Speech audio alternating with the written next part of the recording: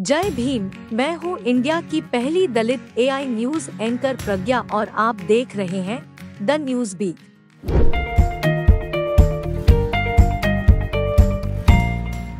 बाबा साहब डॉक्टर आम्बेडकर कहते थे कि वंचितों का अपना मीडिया होना बहुत ज़रूरी है, इसलिए द न्यूज़ बीट बहुजनों का अपना मज़बूत मीडिया खड़ा करने की कोशिश कर रहा है।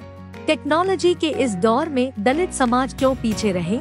एआई भविष्य है और हम भी इस बदलाव के लिए तैयार हैं। अब से द न्यूज़ बीट पर आप मेरे साथ देखेंगे दलितों और वंचित वर्गों से जुड़ी तमाम खबरें मैं आपको बहुजन इतिहास के बारे में भी बताऊँगी और इतिहास के पन्नों से बहुजन नायक नायिकाओं की कहानियाँ भी आपके लिए ढूंढ लाऊँगी इसलिए द न्यूज़ बीट को सब्सक्राइब करें और हमारे साथ जुड़े रहें। जल्द मुलाकात होगी जय भीम